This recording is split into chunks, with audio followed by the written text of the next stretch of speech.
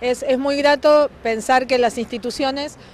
que empiezan a reunirse en distintos lugares de la provincia para ir logrando este fortalecimiento institucional que es tan importante a la hora de tomar decisiones, a la hora de pensar en el desarrollo de nuestras localidades, vayan haciendo estas eh, reuniones itinerantes. y, y sobre todo que la Cámara de Turismo de la provincia haya elegido casualmente el Bolsón para llevar su asamblea anual, creo que es eh, más que representativo para el destino,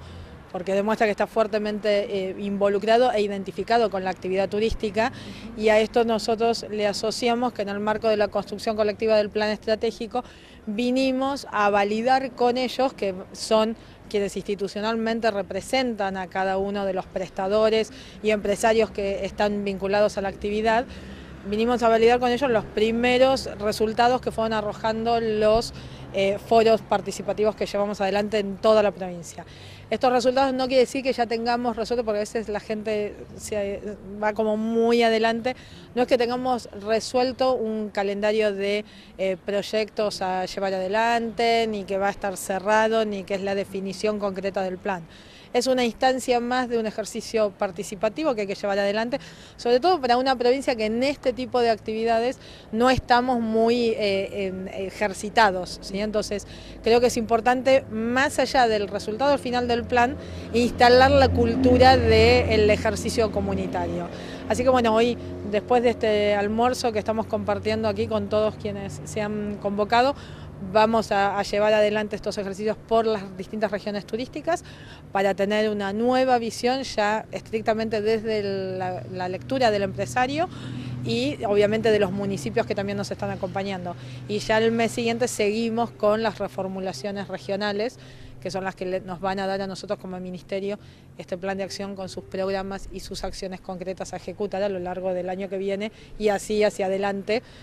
Y esperamos que por mucho tiempo más todos entendamos que es importante el, ejercicio, por lo menos anual, de reunirse, de hacer un, sistema de evaluación o diagnóstico de hacia dónde se ha evolucionado y cuáles son los nuevos horizontes que nos podemos poner para seguir creciendo. Ministra, un tema también pendiente muy importante, que seguramente lo tiene en agenda, es el turismo sustentable. Es algo que hoy estamos atravesando una era que esto se discute mucho, porque ya lo han vivido muchas ciudades de nuestro país que han sido muy avasalladas por el turismo y han quedado dañadas. ¿Cómo se trabaja esto desde la agenda del Ministerio?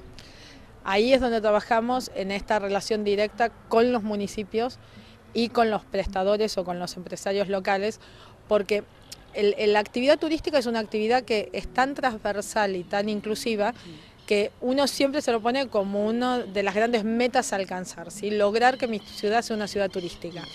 Ahora, para lograr llevar eso adelante, tenemos que lograr acuerdos de partes. Yo como eh, Estado presente en el lugar,